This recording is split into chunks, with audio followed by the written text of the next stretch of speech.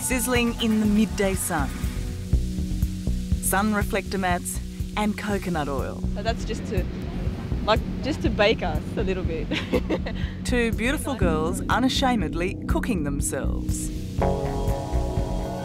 Just to have a nice healthy glow, I guess, all over. They judge you when you've got like a tan and but in the end I suppose if you don't have one, you're left behind. For most Australians, it's a rite of passage. Come summer, the long lazy days at the beach and sunburnt skin. We live in Australia, you gotta have fun. Stuff's pumping. How can I stay out You're of not gonna stay at home on a beautiful day like this. It's the sun damage done when we're young that most often leads to melanoma later in life. This year, 8,000 Australians will get the bad news. 1,000 of us will die. But what's alarming doctors even more is that amongst teenagers, there's a growing trend to ignore the sun safety message. The real problem is they continue to get sunburn. So many more now refuse to wear a hat, they refuse to wear sunscreen. Because of that, doctors predict that in five to 10 years, we will face a health crisis. So many more of those sun happy teenagers will get melanoma. Younger and younger people will suffer needless and painful deaths. I thought that I'd never get cancer, that I was invincible from the sun. That it couldn't happen to you. Yeah, that it wouldn't have happened to me, it happened to somebody else, somebody older. I thought that skin cancer only happened in old people. Turns out I was wrong though.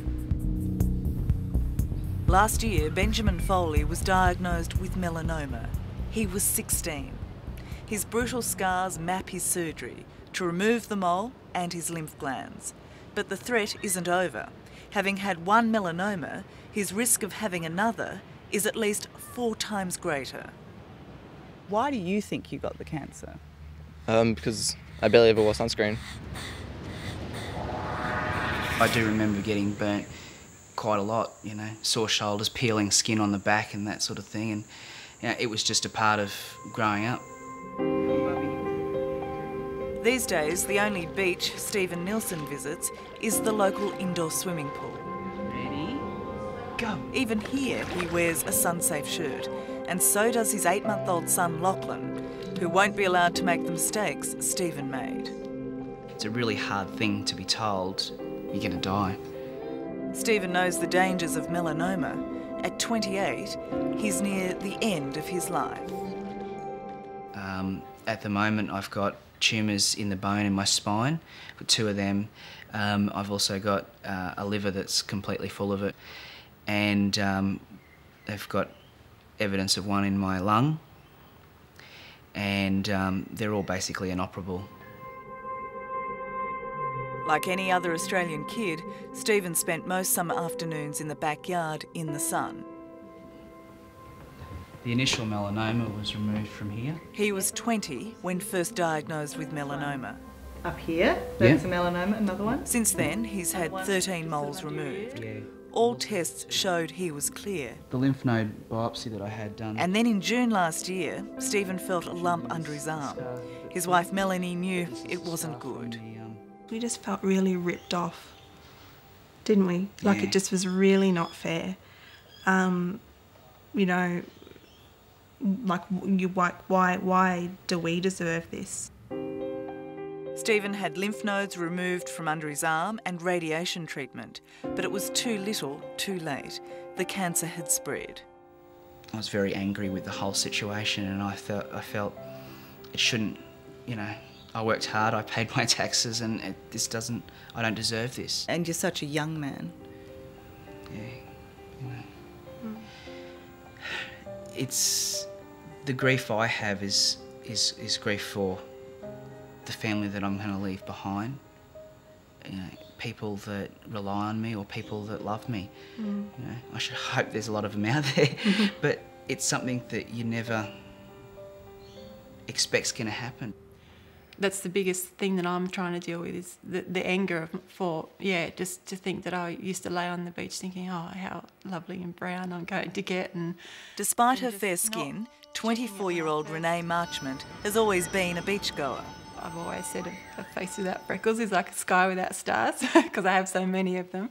So you've got the, the scar to show what you've been through so far. Yeah. Let's have It was when that. one of her so called freckles or moles changed its shape late last year that her future became uncertain. Why do you have such a big scar for such a small freckle? Yeah, well, I guess to make sure that it's they've got it all. A week later, she got the pathology results from her doctor. And it was just basically, you need to ring your husband. This is not good. Yeah. So, sorry. No, you're okay. How, I mean, how did you react at that time? Oh, I was a mess. I just, I was in shock because I just said to him, "I have a ten-week-old baby. What do you mean?" And he couldn't really tell me. He just said, "You need to ring your husband. This is serious." Because I was, you know, in there by myself, and yeah, so it's just very. I'm 24. This can't be happening. I can't. Where are you off to? Surgeons found the melanoma had spread to Renee's lymph gland. Now she faces another operation. For Renee and her husband Mason, there's no hiding their fear. Well, yeah, I am feeling positive about it. It's just very um, scary as to, I think, the depth, the extent of it. Of, um, I guess, just thinking about what my life would be like. Just hoping that we don't find another tumour. If we, you know, if we don't find another tumour, our um, chances are still fairly good.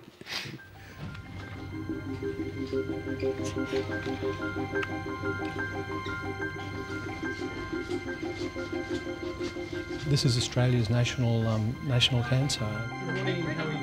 And melanoma specialist Dr. Jonathan Stretch says the statistics are only going to get worse. There's a difference between enjoying activity out in the sun and willfully just lying around and going down and deliberately baking. I mean, well, that's the the thing that is perhaps the hardest um, to reconcile when you look at the consequences of it. 16.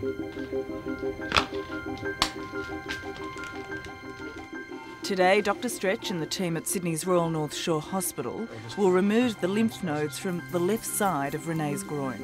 I just wonder how many people lying on a beach ever Mhm. consider that this could be one of the results.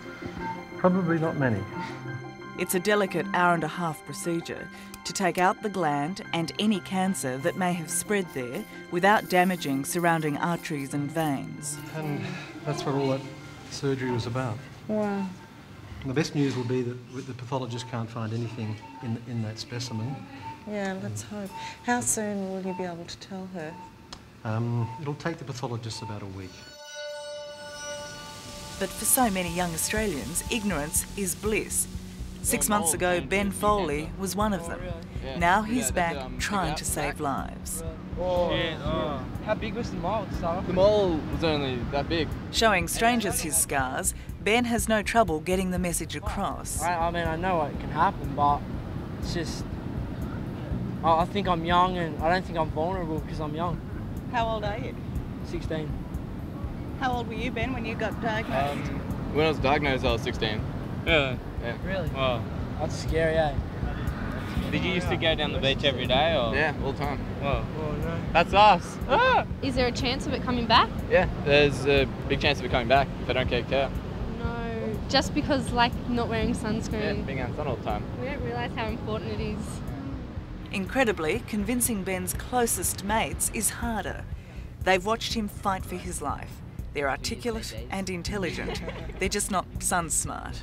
Are you wearing sunscreen? Um, not at the moment, no. Why not? I just don't usually put it on. I'm a local here, so I'm always down the beach, and I guess I'm just used to not wearing sunscreen. You sort of get into a habit of not putting it on and just going down the beach.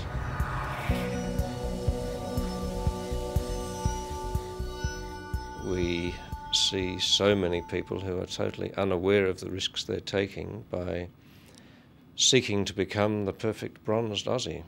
Let's have a look at your back if we could. Can you slip your t-shirt off for me? Professor John Thompson from the Sydney Melanoma Unit is Ben Foley's doctor. All right. Now I understand that you're all regular beachgoers. He agreed to meet Ben's friends and put their sun exposed skin under the spotlight. How often would you get sunburnt, do you think? In summer, probably weekly. Mm, it's not so much getting a little bit of sun from time to time, but actually getting sunburnt that does Yeah. the damage. Professor Thompson's ultraviolet light reveals these young beachgoers have prematurely aged skin and suspect moles. And that one there is quite dark. In fact, that one there probably ought to be removed sometime. What does that mean in terms of their future prognosis, the damage that you saw there under that blue light? In five or 10 or 15 or 20 years, they are at very high risk of developing uh, skin cancers of all sorts, uh, including melanoma, which is potentially fatal. I didn't think I'd had that much damage, but knowing that there is something still, I, I really genuinely am scared for myself. If you're still not convinced this is serious, then as difficult as it is, meet John So Oaten. we'll just have a look at this today, John. 18 months ago, he had a small but suspect mole This checked.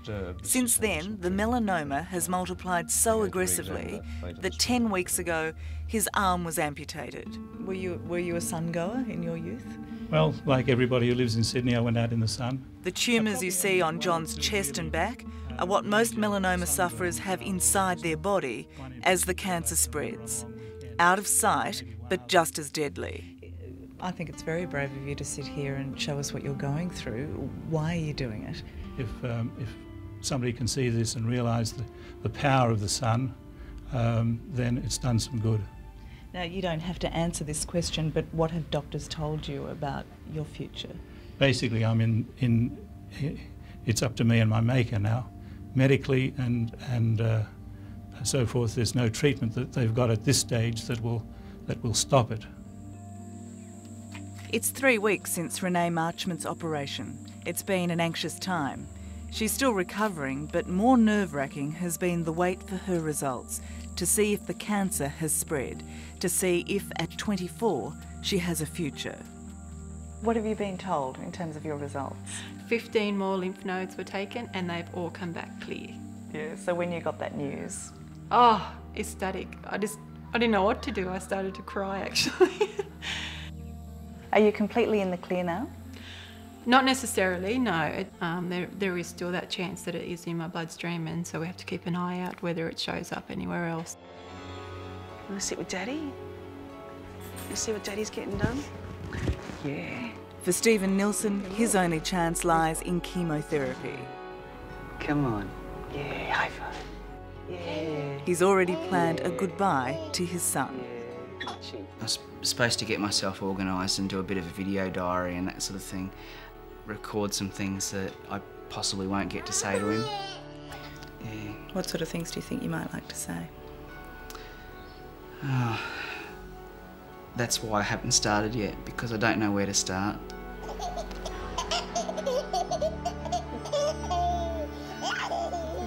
So the things that I want to say to him are just that, you know, I'm sorry I can't be there, and that I hope that me not being there hasn't affected him too much.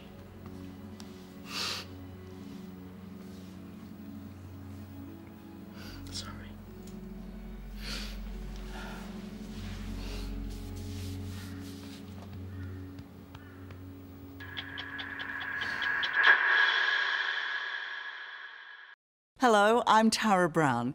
Thanks for watching. To keep up with the latest from 60 Minutes Australia, make sure you subscribe to our channel. You can also download the 9Now app for full episodes and other exclusive 60 Minutes content.